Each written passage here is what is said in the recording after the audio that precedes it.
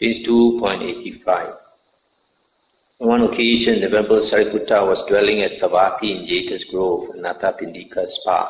On that occasion, the following pernicious view had arisen in a monk named Yamaka.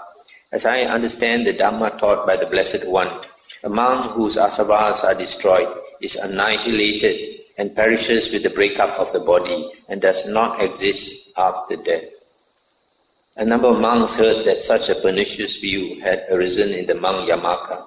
Then they approached the Venerable Yamaka and exchanged greetings with him, after which they sat down to one side and said to him, Is it true, friend Yamaka, that such a pernicious view as this has arisen in you? As I understand the Dhamma taught by the Blessed One, a monk whose asavas are destroyed is annihilated and perishes with the breakup of the body and does not exist after death. And he said, exactly so, friends, as I understand the Dhamma taught by the Blessed One, a monk whose asavas are destroyed is annihilated and perishes with the breakup of the body and does not exist after death. And they said, Friend Yamaka, do not speak thus. Do not misinterpret the Blessed One. It is not good to misrepresent the Blessed One. The Blessed One would not speak thus. A monk whose asavas are destroyed is annihilated and perishes with the breakup of the body and does not exist after death. Stop here for a moment. So here, uh, this monk, uh, Yamaka, he has this view that uh, an uh, Arahant, uh, when he dies, he is destroyed and does not exist anymore. Actually, this is partly true, uh, but uh, the way he has said it uh, is wrong because he says a monk is annihilated uh, when he dies. Uh, a monk who has finished his work, uh, his asavas are destroyed, uh, is annihilated, does not exist anymore after death. Uh. It is partly true in the sense that when uh, Arahant enters Nibbana, he does not exist anymore. Uh. But the Dhamma is teaching us uh, that even before he dies, uh, actually he does not exist. The self does not exist. There is no such thing as the Arahant, the person. Uh, the, uh, after you go, when we go to uh, uh, through the sutta, you understand. Uh, because uh, a person is just a collection of five aggregates. And these collection of five, aggregates are impermanent. So when the five aggregates come together, you say there is a person, there is a being, right? But it's just a temporary condition. In the first place, there's no no such thing. Just like a flower. When you plant a, a flowering plant, uh, initially there's no flower, and then you put water, you put fertilizer. After some time, the flower comes into existence, right? Uh, then after some time, the flower will wilt. Then you ask, where where did the flower go? Uh, the flower is just a condition, uh, just a temporary condition. Uh, it does not, basically there's no such thing as a flower. It's a temporary uh, manifestation. So a, a, being is also a temporary manifestation. Yet although he was admonished by the monks in this way, the Venerable Yamaka still obstinately grasped that pernicious view, adhered to it, and declared, as I understand the Dhamma taught by the Blessed One, a monk whose asavas are destroyed is annihilated and perishes with the breakup of the body and does not exist after death. Since those monks were unable to detach the Venerable Yamaka from that pernicious view, they rose from their seats, approached the Venerable Sariputta, and told him all that had occurred, adding, it would be good if the Venerable Sariputta would approach the monk Yamaka out of compassion for him. The Venerable Sariputta consented by silence. Then in the evening, the Venerable Sariputta emerged from seclusion. He approached the Venerable Yamaka and exchanged greetings with him, after which he sat down to one side and said to him, Is it true, friend Yamaka, that such a pernicious view as this has arisen in you? As I understand the Dhamma taught by the Blessed One, among whose asavas are destroyed is annihilated and perishes with the breakup of the body and does not exist after death. And he said, exactly so, friend. And Venerable Sariputta asked him, what do you think, friend Yamaka? Is body permanent or impermanent? Impermanent, friend. Uh, is what is impermanent suffering or happiness? Suffering is what is impermanent suffering subject to change, fit to be regarded as this is mine, this I am, this is myself. And he said, no, friend.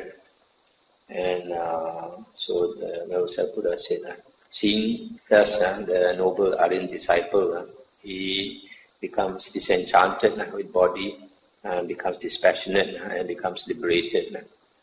Similarly for feeling, perception, volition and consciousness. So here, remember Sariputta is making the point that the five aggregates are impermanent and a source of suffering, not fit to be regarded as I and mine. What do you think, friend Yamaka? Do you regard body as the Tathagata, the Buddha? No, friend. You regard feeling, perception, volition, consciousness as the Tathagata? No, friend. So here, uh, he's saying uh, that the body, the five aggregates lah, by themselves huh, is not the Buddha. What do you think, friend Yamaka? Do you regard the Tathagata as in, in the body? No, friend. Do you regard the Tathagata as apart from body? No, friend. You regard the Tathagata as in feeling?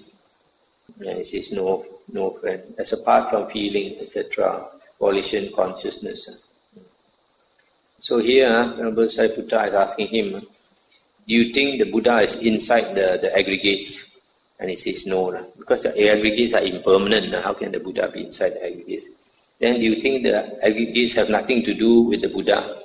Again, he says, no, you cannot say eh, the aggregates have nothing to do with the Buddha. What do you think, friend Yamaka? Do you regard body, feeling, perception, volition, consciousness taken, taken together as the Tathagata? And he says, no, friend. These five aggregates also, uh, even you put them together, uh, it cannot be the Tathagata because they are all impermanent. What do you think, friend Yamaka? Do you regard the Tathagata as one who is without body, without feeling, without perception, without volition, without consciousness? No, friend. But friend, when the Tathagata is not apprehended by you as real and actual here in this very life, is it fitting for you to declare as I understand the Dhamma taught by the Blessed One, a monk whose asavas are destroyed is annihilated and perishes with the breakup of the body and does not exist after death. Uh, so here, remember, Sariputta uh, finally makes the point that uh, even in this very life, uh, the Buddha, you cannot say is real and actual here. You can only describe him as the temporary aggregates, lah. but that aggregates also is not him. Uh.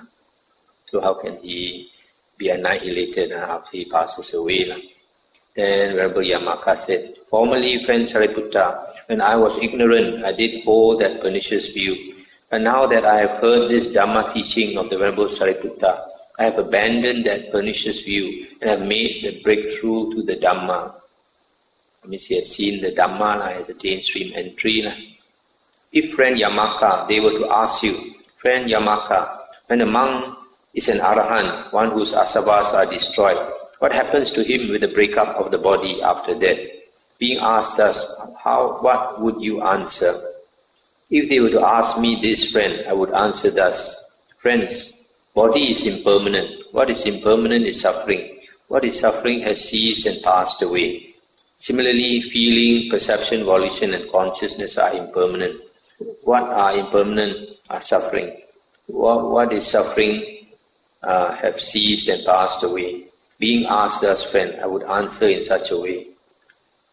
Good, good friend Yamaka. So, actually this monk Yamaka, uh, he has cultivated, uh, has probably been the monk for many years. Lah. So when Venerable Sariputta explained this, uh, he very quickly uh, he grasped, the, the, understood the, the Dhamma. So he said he has seen the Dhamma. Yeah.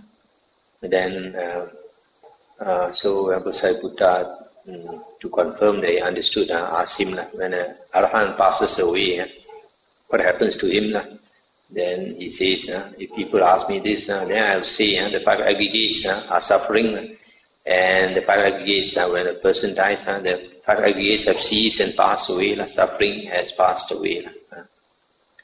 Good, good friend Yamaka. Now, friend Yamaka, I will make up a simile for you in order to convey the same meaning even more clearly.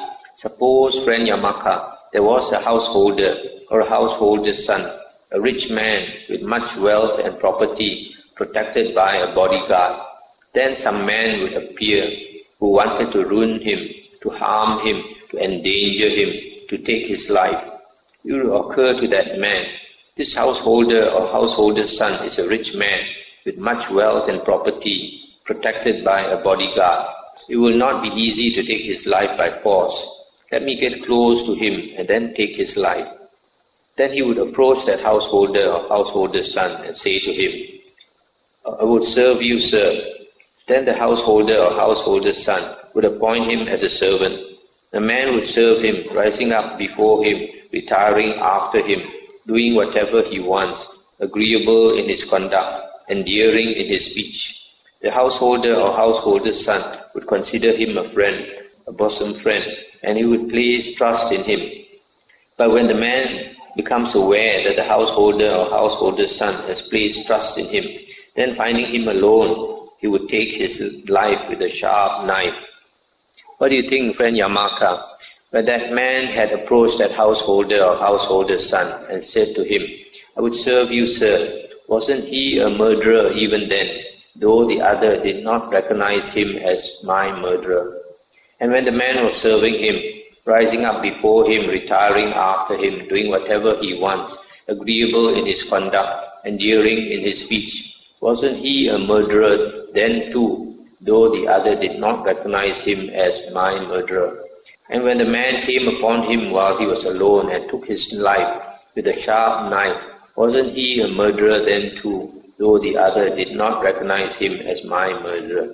Yes, friend. So too, friend Yamaka, the unlearned, ordinary worldling who does not see noble ones and is unskilled and untrained in their Dhamma, who does not see superior persons and is unskilled and untrained in their Dhamma, regards body as self, or self as possessing body, or body as in self, or self as in body. Similarly, he regards feeling, perception, volition, consciousness eh, as self, or self as possessing the aggregates, eh, or the aggregate as in the self, or self as in the aggregates. Eh. He does not understand as it really is, impermanent body as impermanent, impermanent feeling as impermanent, impermanent perception, volition, consciousness as impermanent. He does not understand as it really is painful body, feeling, perception, volition, consciousness as painful. He does not understand as it really is selfless body, feeling, perception, volition and consciousness as selfless. He does not understand as it really is conditioned body, feeling, perception, volition consciousness as condition. He does not understand as it really is murderous body, feeling, perception, volition, consciousness as murderous aggregates. He becomes engaged with body, clings to it, and takes a stand upon it as myself. Similarly, he becomes engaged with feeling, perception, volition, consciousness, clings to them, and takes a stand upon them as myself. These same five aggregates of clinging to which he becomes engaged and to which he clings to lead to his harm and suffering for a long time. But friend, the learned noble disciple who is who sees noble ones, uh, etc., does not regard body as self, or self as possessing body, or body as in self, or self as in body. Similarly, he does not regard feeling, perception, volition, consciousness uh, as self. Uh, or self as possessing the aggregates, or the aggregate as in the self, or self as in the aggregates. He understands as is really, as they really are, impermanent body, feeling, perception, volition, and consciousness uh, as impermanent.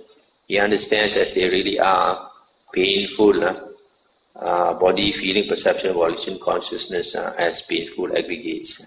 He understands as they really are, selfless body, feeling, perception, volition, consciousness uh, as selfless aggregates. He understands as they really are, conditioned body, feeling, perception, volition, consciousness uh, as conditioned aggregates. He understands as they really are, murderous body, feeling, perception, volition, consciousness uh, as murderous aggregates. He does not become engaged with body, cling to it, and take a stand upon it as myself. He does not become engaged with feeling, perception, volition, consciousness, uh, cling to them uh, and take upon take a stand upon them as myself. These same five aggregates of attachment to which he does not become engaged and to which he does not uh, attach uh, lead to his wealth and happiness for a long time. And then remember Yamaka said, So it is, friend Sariputta, for those venerable ones who have such compassionate and benevolent brothers in the holy life to admonish and instruct them. And now that I have heard this Dhamma teaching of the Venerable Sariputta, my mind is liberated from the asavas by non-clinging. This is what the Venerable Sariputta said. Elated, the Venerable Yamaka delighted in the Venerable Sariputta statement. That's the end of the sutta. So you see, in our earliest discourses of the Buddha, always praise Venerable Sariputta as the disciple with the highest wisdom. That's why you see, uh, in several discourses, uh, he can teach the other monks uh, until they attain stream entry. Uh, or like in this case, uh, he taught this monk until this monk became an arahant. So the Buddha says uh, that the Venerable, Sariputta turns the Dhamma wheel uh, exactly like the Buddha himself. Uh. That's why the Buddha praised Venerable Sariputta so much. Uh. But later, Mahayana books uh, always try to belittle this Venerable Sariputta. So you see the last part, uh, this uh, uh, Venerable Sariputta made this simile for this Venerable Yamaka that uh, just like a murderer wants to murder somebody, uh, he comes disguised like, as a servant uh, and serves that man very well. Uh, but one day when the man is alone, uh, he kills him. Uh. So in the same way, uh, our five aggregates uh, serve us uh, serve us very well. Uh, we get pleasure from the five aggregates uh, and we are very pleased with the five aggregates. Uh, but the Buddha, uh, but Venerable Sariputta says uh, actually they are murderers uh, because when we cling to them, we attach to them uh, as I and mine. Uh, then when the five aggregates cease, uh, when the body dies, uh, and then we feel uh, I die. That means I am murdered. Murdered by who? by murdered. By these five aggregates, the same five aggregates that we cling to, we thought was our good friend, our source of happiness. but it turns out that because we cling to them, so when they die, we feel I died. But for somebody like an arahant, although he has the same aggregates, he does not cling to to the aggregates. he sees them as not self. Uh, sees them as impermanent, a source of suffering. Uh, so because he does not cling to them, uh, when the body dies, uh, he just knows uh, the body uh, being impermanent uh, uh, has uh, lived its shelf life. Mm? Uh, the time has come, uh, so it is dying. It does not attach to it, so it does not suffer. We suffer because we attach to the aggregates as I and mine. Uh, so uh, here the teaching uh, is to see them as murderers, not something to cling to, to attach to.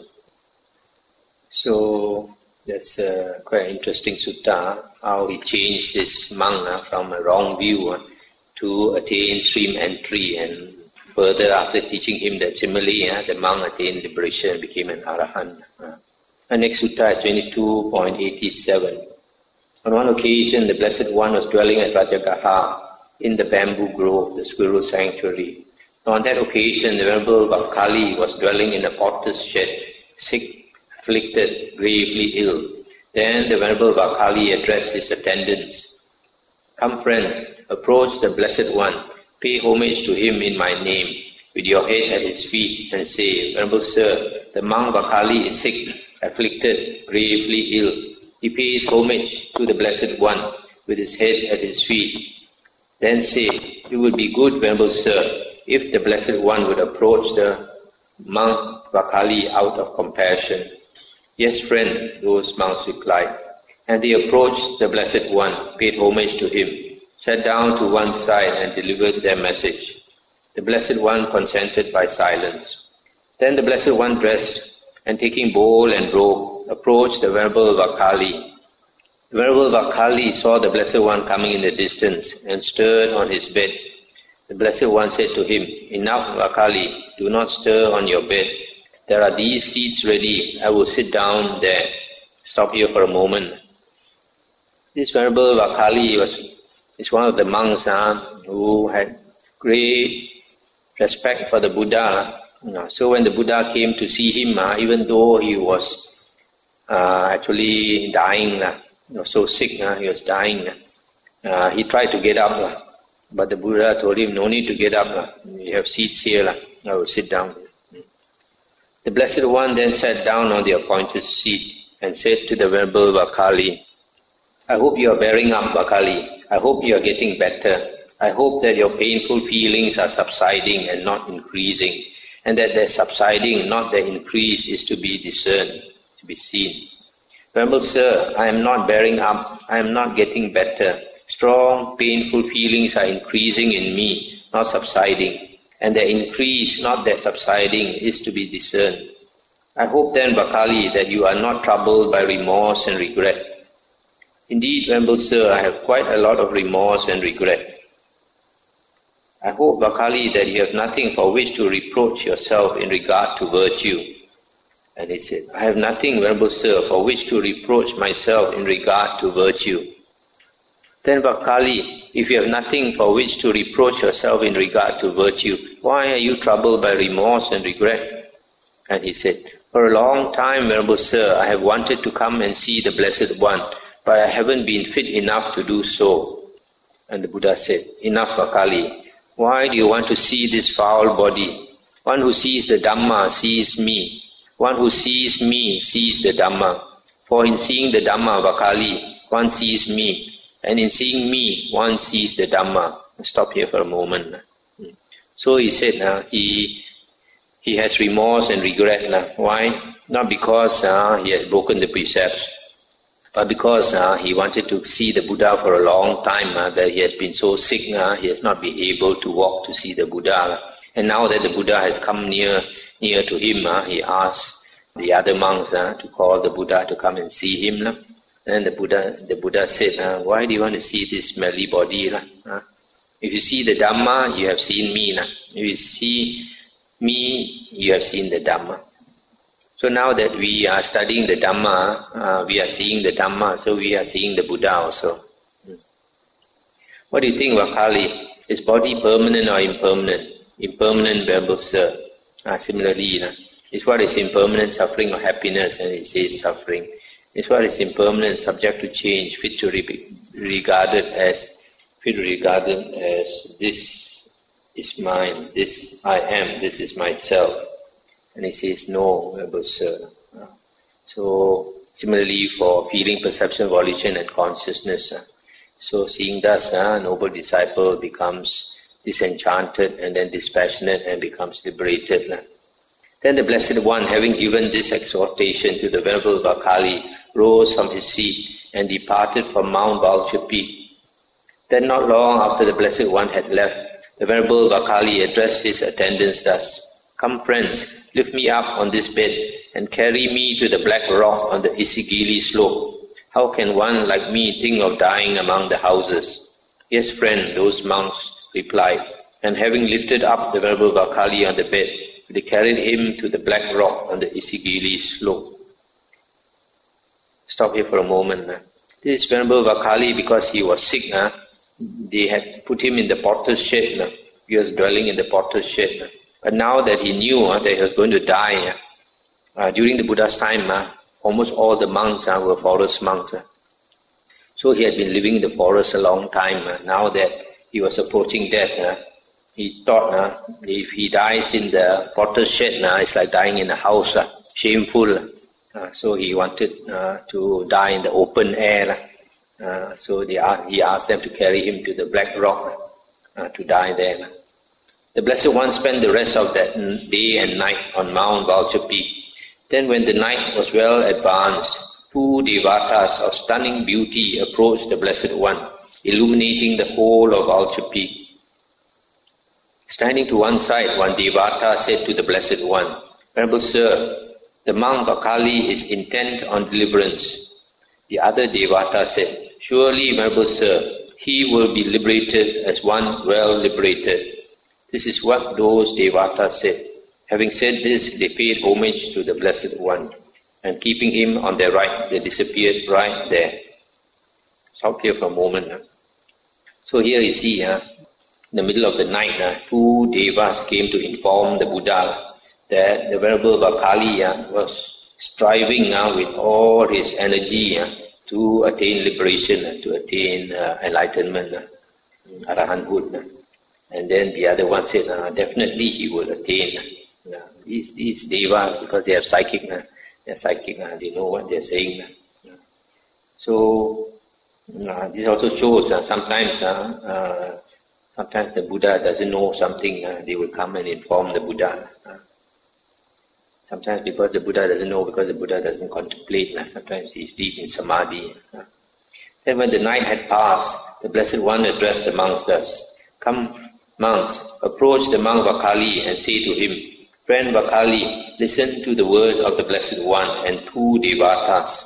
Last night, friend, when the night was well advanced, two Devatas of stunning beauty approached the Blessed One. One Devata said to the Blessed One, Venerable Sir, the monk Vakali is intent on deliverance. The other Devata said, Surely, Venerable Sir, he will be liberated, as one well liberated. And the Blessed One says to you, friend Vakali, do not be afraid, Vakali, do not be afraid. Your death will not be a bad one. Your demise will not be a bad one. Let's stop here for a moment. Uh, so here the Buddha is uh, asking the monks uh, to inform the Venerable Vakali uh, that uh, the Deva said uh, that he will attain liberation, which is also an encouragement for him uh, to press on uh, and attain liberation. And also, the, probably the Buddha foresaw uh, that he was going to commit suicide. So the Buddha told him, uh, don't be afraid, uh, your death will not be evil. Uh, when you die, you won't, there, won't, there will be nothing wrong with it. I think that's a hint to him that whatever he does, don't worry, it's not, uh, not evil. Yes, Venerable Sir, those monks replied. And they approached the Venerable Vakali and said to him, Friend Vakali, listen to the word of the Blessed One and two Devas. Then the Venerable Vakali addressed his attendants, Come friends, lower me from the bed. How can one like me think of listening to the Blessed One's teaching while seated on a high seat? Yes, friend, those monks replied, and they lowered the Venerable Vakali from the bed. Stop here for a moment. You see, this Venerable Vakali uh, has so much respect for the Buddha that when they wanted to pass a message to him from the Buddha, immediately uh, he said uh, to put him on the ground. He doesn't want to listen to the Buddha uh, sitting on the bed. And they told him, Last night, friend, two devatas of stunning beauty approached the Blessed One. One Devata said to the Blessed One, Venerable Sir, the monk Vakali is intent on deliverance. The other Devata said, Surely, Venerable Sir, he will be liberated as one well liberated. And the Blessed One says to you, friend Vakali, do not be afraid, Vakali, do not be afraid. Your death will not be a bad one. Your demise will not be a bad one. And he said, Well then, friends, pay homage to the Blessed One in my name with your feet at his head and say, Venerable Sir, the monk Vakali is sick, afflicted, gravely ill. He pays homage to the Blessed One with his head at his feet. Then say, Body is impermanent. I have no doubt about this, Venerable Sir. I do not doubt that whatever is impermanent is suffering. I do not doubt that in regard to what is impermanent, suffering, and subject to change, I have no more desire, lust, or affection. Similarly, feeling, perception, volition and consciousness are impermanent. I have no perplexity about this. I do not doubt that whatever is impermanent is suffering. I do not doubt that in regard to what is impermanent, suffering and subject to change, I have no more desire, lust or affection. Yes, friend, those monks replied, and then they departed. Stop here for a moment. So here uh, is asking them to inform the Buddha that he has no more doubt uh, that he has cut off desire and lust uh, for the five aggregates. Uh, in other words, uh, probably uh, he has already attained arahanthood. Uh, he's try, trying to tell them to tell the Buddha that he has uh, no doubt about his attainment. Uh, so the monks uh, departed. Then not long after those monks had left, the Venerable Vakali used the knife. That means he committed suicide with a knife. Then those monks approached the Blessed One and delivered their message. The Blessed One then addressed the monks thus, Come monks, let us go to the black rock on the Isigili slope where the clansman Vakali has used the knife. Yes, Venerable Sir, those monks replied. Then the Blessed One, together with a number of monks, went to the black rock on the Isigili slope. The Blessed One saw in the distance the Venerable Vakali lying on the bed with his shoulder turned. Now on that occasion a cloud of smoke, a swirl of darkness, was moving to the east, then to the west, to the north, to the south, upwards, downwards, and to the intermediate quarters. The Blessed One then addressed the monks thus, Do you see monks, that cloud of smoke, that swirl of darkness moving to the east, then to the west, then to the north, to the south, upwards, downwards, and to the intermediate quarters. Yes, Venerable Sir. That monk is Mara, the evil one, searching for the consciousness of the clansman Vakali, wondering, where now has the consciousness of the clansman Vakali been established? However, monks, with consciousness unestablished, the clansman Vakali has attained final Nibbana that's the end of the sutta. So here, uh, at the end, uh, you see, Mara is looking to, to, to find out where did Vakali take rebirth, la, where did his consciousness go to. La. But the Buddha says, uh, his consciousness uh, is no more. La. Uh, he will not uh, take rebirth, la. he has attained Nibbana. Uh, so this uh, confirms uh, that all the Arahants uh, have finished their work. La. Not like the Mahayana books say, uh, they have not finished their work. Uh, just like the Buddha, when they enter Nibbana, uh, their consciousness, all the six consciousness ceases. Uh. So you see this uh, monk, uh, he was in great pain, his body, he was dying, and he knew he was dying, that's why he put all his effort to attain liberation. So that's why the deva, devas, realized that he was putting so much effort, he surely will attain liberation. So the Buddha also foresaw uh, that he would attain liberation. So the Buddha told him, uh, whatever you do, uh, don't be afraid. So maybe with that uh, comforting words of the Buddha, he uh, committed suicide. Because for an arahant uh, to commit suicide, there's nothing wrong with it. It does not kill a cell because there's no more cell to kill. And although Arahant is liberated, the Buddha says uh, uh, he still has body suffering. Uh, all Aryans, uh, all noble ones have eliminated mental suffering, but they still have body suffering. So because of his great body suffering, you, you know, at, at that time they did not have painkillers like we have now. so he's used the knife as a painkiller. Uh, we stop here. I think to discuss and to a few important suttas here.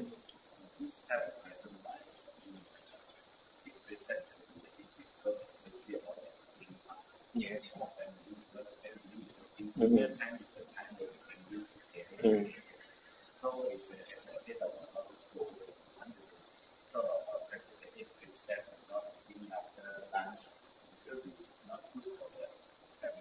Yes, the Buddha said uh, for lay person, uh, you practice the eight precepts once a week. Once a week. During the Buddha's time, they practice on like the eighth day of the lunar calendar, the 15th, 23rd, and the 30th day. Uh, so either you can follow that or you choose one day of the week that is convenient, for example, uh, Sunday or Saturday or whatever.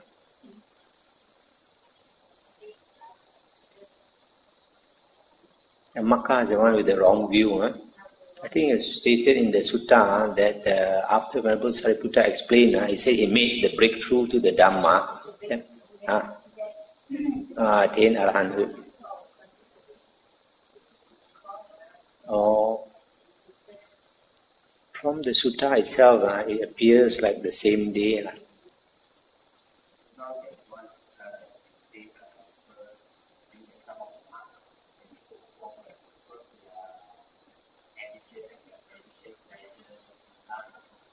Um, method is the same lah in the uh, what is stated in the suttas. Huh? We keep our sila, we practice uh, meditation uh, to strengthen the mind, and study the suttas uh, to get wisdom. And then um, also other conditions. You see, for example, if a person can practice aloofness, not associating with others, that he can put more effort. Uh, and other things like uh, there's a list uh, on the charana uh, conduct or practice for a monk, uh, contentment, practicing contentment, and uh, moderation in eating, uh, jagarya yoga, uh, how do you say, trying to keep awake, not to sleep so much, and guarding the sense doors, uh, don't expose yourself uh, to these sense doors. Uh, you see, the sense doors are quite important because uh, the uh, guardians, whether we allow certain things to come into our senses or not, because if the wrong things come into our senses, then it stirs stirs up our passions and all that. So it's helpful uh, to restrict yourself. Uh, you know certain things, uh, for example, the internet is not good, uh, then you don't uh, try to cut off the internet. Uh, mm, watching TV uh, and all that, uh, I try to for lay people, uh, not to uh, indulge in them. Uh. Now, for a monk, uh, because a monk, if you stay in a forest monastery, uh, all these uh, actually are already cut off. Uh. So, you can have a look at the uh, charana, the conduct.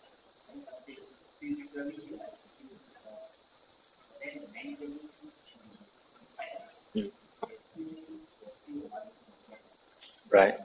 But you see, like that day we read the suttas on the monk, what's his name?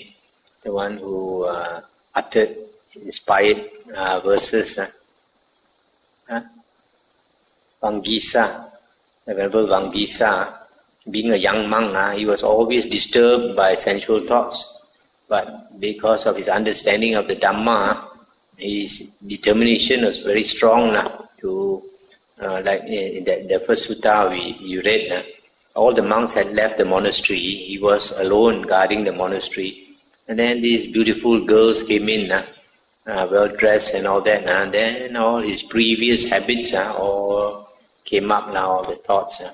So he then he decided, uh, who can help him? Nobody can help him because his thoughts are inside. Uh. Uh, so he decided uh, to fight, uh, fight his own thoughts uh, inside. So that's why last night I mentioned uh, the mind is the forerunner of all states.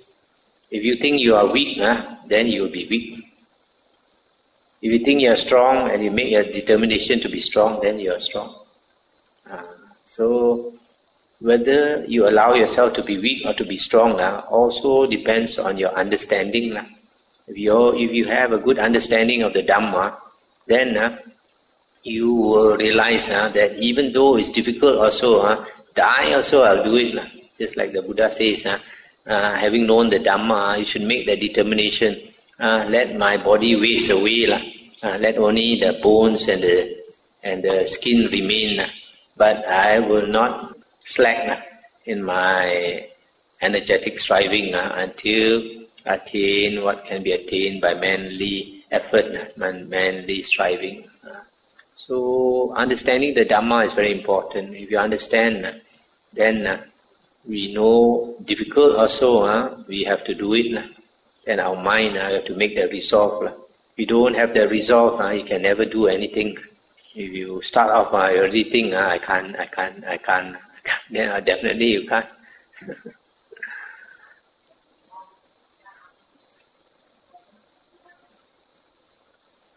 Restlessness is uh, something quite difficult uh, because uh, if you look at the five uh, higher fetters, uh, actually the restlessness is eliminated uh, only by the arahant.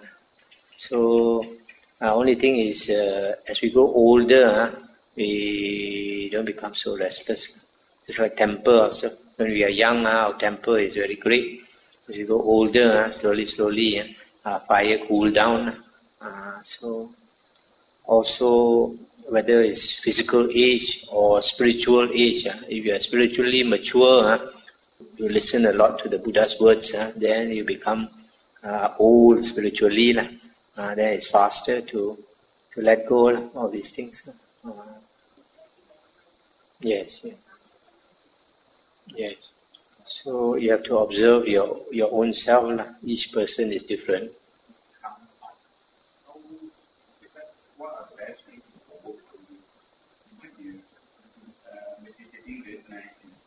There is something in the sutta about uh, balancing. When you put too much effort, uh, then uh, restlessness arises. Uh, then uh, in that case, uh, you must concentrate harder to attain tranquility, to attain samadhi. And if you find that sitting is difficult, when you're restless, then you do walking. Walking.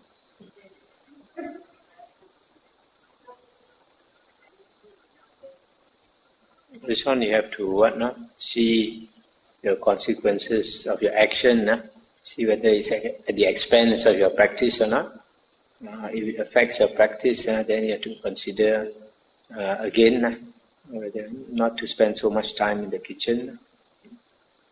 A lot of things uh, sometimes we have to reflect, reflect and uh, consider. Like the Buddha says, uh, whatever we do, before doing it, now we must reflect as the consequences. And then while we are doing also, uh, we must reflect whether it's beneficial or it's harmful. And after we have done it also, uh, we must reflect. Uh, so we constantly reflect on our actions, uh, then uh, our actions become more and more pure, purified, and more skillful. Uh, we, we, we, uh,